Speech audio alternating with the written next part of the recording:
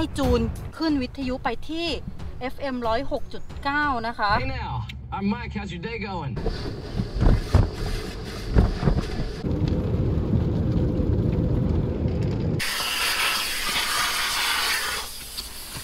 สวัสดีค่ะ มอสนะคะ มอสลาวันอวันค่ะ ตอนนี้มอสกำลังล้างรถแล้วก็ดูดฝุ่นอยู่นะคะ แต่ธุรกิจที่มอสจะ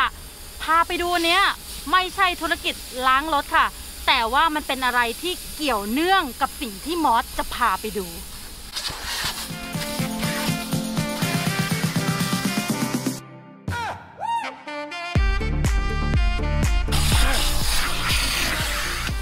คือคนที่เนี่ยเขาชอบล้างรถกันเองนะคะ เพราะว่าถ้าไปจ้างล้างรถเนี่ยมันจะแพงมากๆเลย แต่ว่ารายละเอียดอะเดี๋ยวมอสจะรีวิวเรื่องการล้างรถให้ดูอีกทีนึงนะคะ เพราะว่าที่เนี่ย มีล้างแบบหลายแบบมากๆเลย กระจกรถอะจะต้องใส่กริ้งกริ้งๆเลยนะคะ มันสำคัญมากๆกับธุรกิจที่มอสจะพาไปดูนะ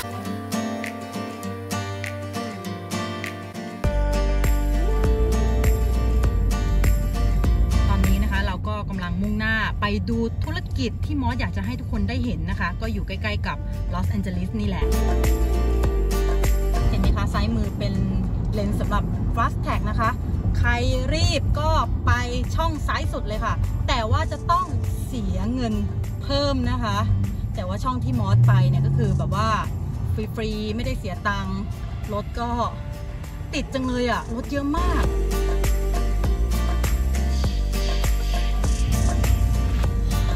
ทุกอย่างกำลังจะกลับมาปกตินะคะ ลอสแอนเจลิสเนี่ย เป็นเมืองที่ขึ้นชื่อว่า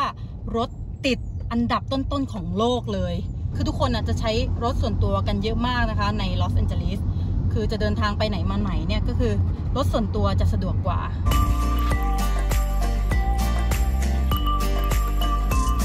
คือที่นี่นะคะเขาอนุญาตให้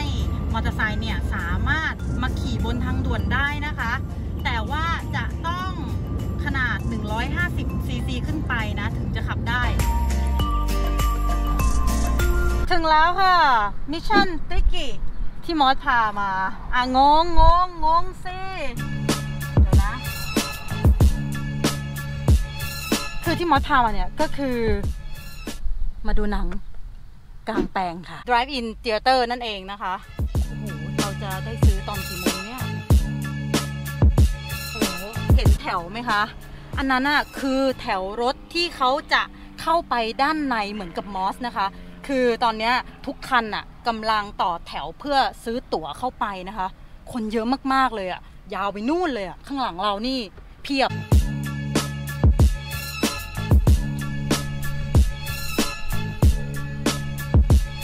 ข้างหน้านะคะก็จะเป็นตู้จ่าย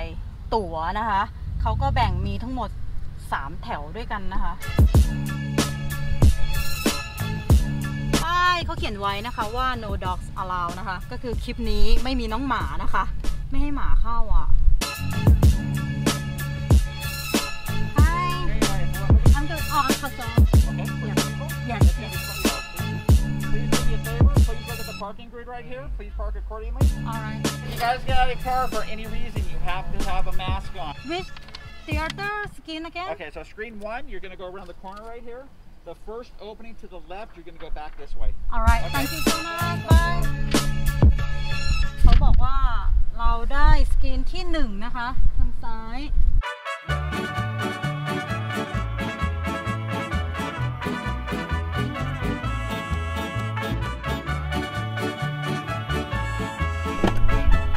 ถึงแล้วค่ะ นี่คือธุรกิจที่มอสอยากจะให้ทุกคนได้เห็นนะคะ เพราะว่า มันเป็นอะไรที่มอสอยากจะมาสัมผัสมากๆเลย นั่นก็คือ การจอดรถดูหนังกลางแปลงนี่แหละค่ะ คือธุรกิจนี้นะคะ อยากจะบอกว่ามีมานานแล้วมากๆนะคะ แล้วมอสอะก็เห็นในหนังแบบอเมริกันนะคะ แล้วแบบมอสคิดว่าธุรกิจเนี้ยหายไปแล้วไม่มีแล้ว แต่ปรากฏว่าตอนเนี้ยกลับมาบูมใหม่นะคะ แล้วก็คนเยอะมากๆเลยค่ะ ก็ดีใจมากๆเลยนะคะ คือเป็นครั้งแรกในชีวิตนะคะ ของมอสที่ได้แบบ มันนั่งรถดูหนังกลางแปลงในอเมริกา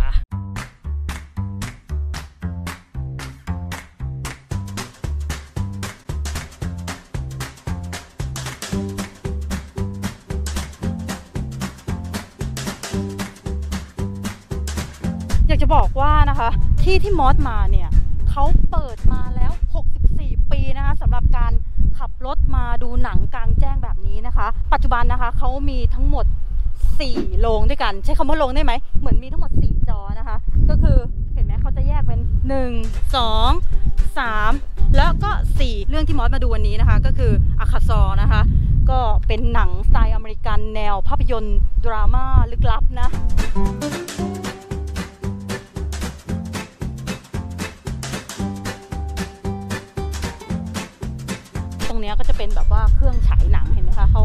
มีทั้งหมด 4 จอ 4 มุม ก็เดี๋ยวหนังเรื่องไหนฉายก็ดูไป แต่หมอกำลังคิดว่าสมมติถ้าเราอยากดูหนังอีกเรื่องหนึ่งเราก็นั่งแบบหันดูอย่างนี้ก็ได้มั้งคือปกติโรงหนังทั่วไปอะจะเป็นเก้าอี้ใช่ไหมคะ ที่นี่เขาจะทำเป็นเนินคล้ายๆ กับแบบเก้าอี้ดูหนังนะคะเห็นไหมเนินเพื่อเชิดให้เราแบบว่าดูหนังได้ แต่ถ้าเกิดบางคนเนี่ยเขาก็หันท้ายรถเข้าไปดูนะคะ แล้วแต่สะดวก แต่ตอนเนี้ยเขาบอกว่าขอให้ทุกคันอะ จอดแบบเป็นเว้นระยะห่างกันนะคะ ก็เดี๋ยวเรารอหนังฉายนะคะสองทุ่มสิบห้าตอนนี้ทุ่มครึ่งค่ะ เดี๋ยวขอไปหาซื้ออะไรกินก่อนเนาะในลอสแอนเจลิสนะคะ ตอนนี้โรงหนังก็ยังปิดให้บริการอยู่นะคะ คนก็เลยหันมานิยมขับรถดูหนังกลางแจ้งนะคะทำให้ที่นี่เนี่ย ตอนนี้เขาเรียกว่าอะไรนะ หน้ามือเป็นหลังมือเลยอะ่ะ ไม่ต้องกังวลนะคะว่าเขาให้อยู่แต่ในรถหรอ จริง ๆ แล้วถ้าเกิดว่าเราอยากกินขนมนะคะเขาก็จะมีsnack bar ให้ แล้วก็ห้องน้ำเนี่ยเราก็ต้องเดินออกมาเข้าตรงแบบที่เขาจัดให้นะคะ แต่ขอให้ทุกคนอะจะต้องใส่หน้ากากนะคะช่วงนี้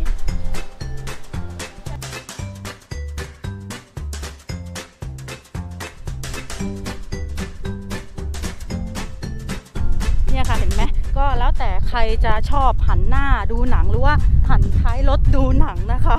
ก็แล้วแต่สะดวกเลยมอสชอบอะเห็นไหมเขาจะมีเนินให้จอดรถดูได้ แล้วก็แต่ละคันตอนนี้ก็จะเห็นว่าเขาจอด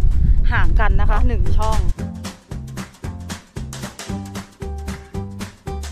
ก็แต่ละครอบครัวนะคะเขาก็เอาเก้าองค์เก้าอี้มานั่งกันนะคะ เด็กๆก็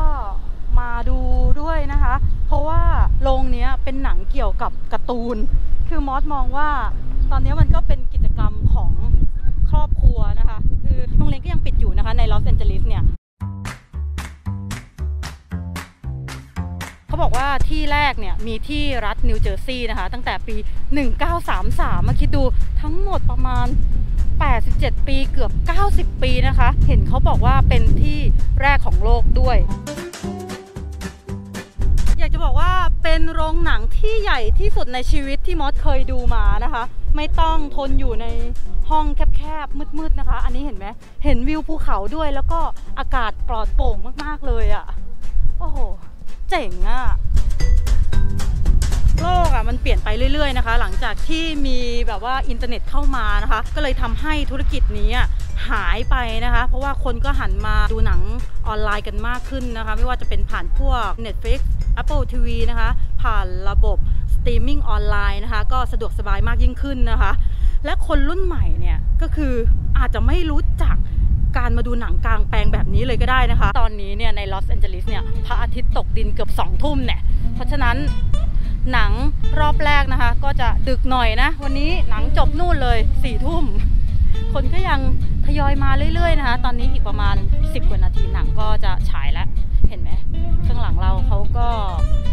มาเป็นรถกระบะนะคะ รถกระบะก็ดีนะคะ สามารถนอนดูได้เลยเป็นไงล่ะ ก็ดีนอนดูได้แบบว่าเหมือนฮันนีมูนซีทเนาะคือมอสก็เป็นคนต่างจังหวัดใช่ไหมคะ ก็จำได้ว่าตอนไปดูหนังกลางแปลงเนี่ย ก็จะมีเสือเนาะไปนั่ง มีลูกชิ้นกินอะไรอย่างเงี้ย แต่ว่าไม่เคยที่จะขับรถมาจอดแล้วก็ดูหนังนะคะ เหมือนอันเนี้ยก็เป็นแบบ อเมริกันสไตล์นะคะคนอเมริกันแบบว่ายุคแรก ๆเขาก็คงจะชินกับแบบนี้นะคะ แต่สำหรับคนไทยก็อาจจะชินกับแบบเสือมาปูเนาะก็เป็นอะไรที่แตกต่างกันออกไปเนาะตอนนี้นะคะ หนังก็เริ่มฉายแล้วนะคะ หลายคนอาจจะสงสัยว่าอ้าวแล้วมอสฟังเสียงยังไงนั่งอยู่ในรถเพราะตอนแรกมอสก็ งงๆอยู่นะ เพราะว่าหนังอะลงมันติดๆกันเลยนึกออกไหมแล้วเสียงมันอาจจะตีกัน คือเจ้าหน้าที่อะเขาจะมีกระดาษให้นะคะ เขาบอกว่าโรงหนึ่งของเราเนี่ยให้จูนขึ้นวิทยุไปที่ FM 106.9 นะคะ นี่มอสก็จูนไว้ละ เพื่อฟังเสียงหนังของเรานะ ได้ยินเสียงวะ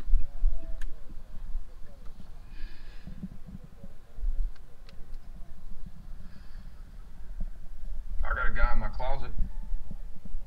I don't know if it's the same one you're thinking of. คือถ้าใครชอบ Yeah, that's it. เสียงดังๆ ก็เปิดสุดๆไปเลยนะคะ ก็ So far. ส่วนตัวดีนะ Pack your shit. เห็นอันนู้นไหมคะ ข้างหลัง Did I just มอส get promoted? อันนั้นคือหนังอีกเรื่องหนึ่งนะคะ รู้แล้วที่มอสบอกว่าตอนแรกอะมอสจะขี้โกงแบบว่าเราอยากดูอีกเรื่องหนึ่งเราก็หันไปดูใช่ปะแต่เราไม่ได้ยินเสียงไง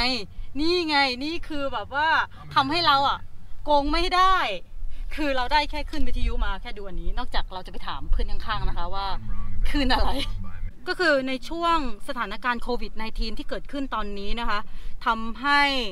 ธุรกิจบางอย่างเนี่ย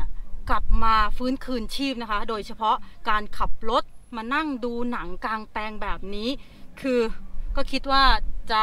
หายไปแล้วนะคะ เนี่ยแหละค่ะ ความจริงของโลกใบนี้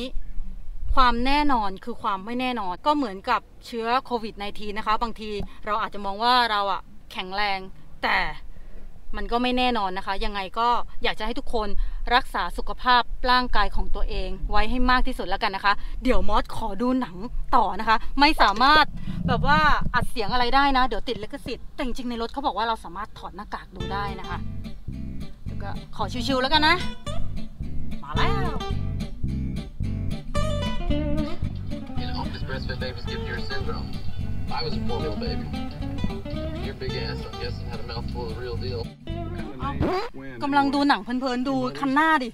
Get in. เปิดไฟหน้ารถแล้วแบบมันเชิดใส่หน้าเรานึกออกปะปกติถ้าเราแบบอยู่ในโรงหนังก็แบบคนเดินผ่าน อันนี้รถเปิดไฟหน้า